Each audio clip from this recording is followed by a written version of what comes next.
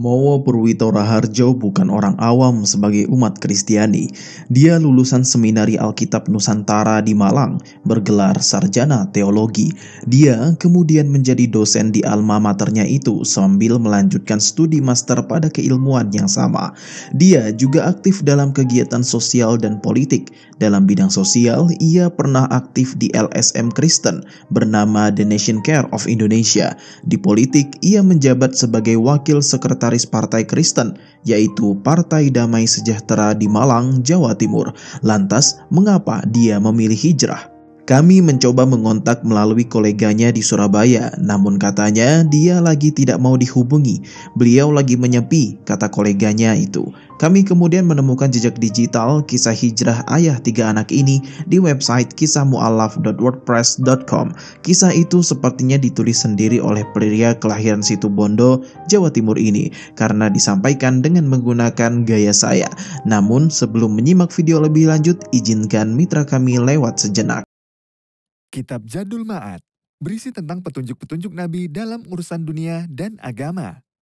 Kitab Jadul Ma'at sudah sangat terkenal di dunia Islam. Cakupannya luas, membahas hampir semua aspek penting dalam Islam. Buku yang sangat mengagumkan ini merupakan karya terbaik dari seorang ulama besar Imam Ibnu Qayyim al-Jauziyah. Buku berharga ini jarang ada tandingannya dan tiada duanya di bidangnya. Di dalamnya penulis mengumpulkan segala hal yang berkaitan dengan Nabi Shallallahu Alaihi Wasallam, baik sabda, perbuatan, maupun persetujuan beliau. Buku Jadul Ma'at terdiri dari lima jilid. Tidak ada firasat dan gambaran sedikit pun dalam benak bila akhirnya saya menjadi seorang muslim. Semua berjalan bagai air yang mengalir begitu saja Sebelumnya, saya adalah dosen sosiologi agama di Seminari Alkitab Nusantara dan beberapa seminari di Indonesia. Hingga suatu ketika, Dr. Wagiono Ismail, dosen Islamologi di tempat saya mengajar, meninggal dunia. Karena tidak ada dosen pengganti, pihak seminari memutuskan saya untuk menggantikannya. Mau tidak mau, saya harus belajar tentang keislaman lebih mendalam Tentu saja bukan untuk mencari kebenaran, melainkan demi keperluan mengajar dan perbandingan belaka. Maka saya beli buku-buku tentang keislaman yang layak untuk diajarkan kepada mahasiswa-mahasiswa saya. Sebelum mengajarkan Islamologi, Pak Rektor berpesan, mata kuliah Islamologi harus diajarkan secara komparatif. Artinya, hanya sebagai studi banding antara Islam dan Kristen. Saya berpikir keras bagaimana membandingkan ajaran Islam yang luas dengan mata kuliah yang hanya dua SKS. Akhirnya, saya memfokuskan pada tiga pembahasan pokok, yaitu konsep ketuhanan, konsep kemanusiaan, dan konsep alam semesta. Saya mulai mendalami perbandingan ketiga konsep tersebut dalam agama Islam dan Kristen. Akhirnya, saya menemukan perbandingan yang sangat mencolok, bahkan bertentangan. Pertama, tentang konsep ketuhanan. Dalam agama Kristen, Tuhan itu transenden dan imanen. Transenden artinya Tuhan itu jauh berada di luar alam semesta, sedangkan imanen artinya Tuhan berada dalam alam semesta atau ikut dalam proses yang ada dalam alam semesta hadir. Singkatnya, Tuhan jauh berada di luar alam, tetapi hadir di dalamnya. Dia sangat berkuasa dan hadir di mana-mana, tetapi karena Tuhan terlalu jauh, maka ia punya inisiatif yang baik. Dia rela menurunkan dirinya menjadi manusia sebagai sosok Yesus agar dapat berinteraksi dengan manusia. Inilah yang kemudian disebut teori reinkarnasi. Pertanyaannya, kenapa Allah yang begitu sangat berkuasa harus mengubah dirinya menjadi manusia? Tuhan yang baik juga rela mengorbankan dirinya untuk menebus dosa-dosa manusia di kayu salib. Konsep ketuhanan dalam Kristen tersebut saya bandingkan dengan 20 sifat Allah yang ada dalam Islam. Di dalam Islam disebutkan Allah itu mukhalafatuhu lil hawadith. Artinya Allah mustahil serupa dengan makhluknya. Karena Allah sangat suci dan berkuasa, tidak mungkin Allah akan mengubah dirinya menjadi manusia. Kedua, tentang konsep kemanusiaan. Dalam kekristenan disebutkan bahwa manusia sudah dalam keadaan berdosa sejak dilahirkan. Dosa tersebut adalah sebagai warisan dari Adam yang telah jatuh dalam dosa. Dosa tersebut tidak akan pernah putus dari generasi ke generasi. Yang bisa memutus tersebut hanyalah iman kepada Yesus sang penebus dosa yang mati di kayu salib. Dosa warisan atau turunan tersebut menjadi persoalan yang cukup janggal.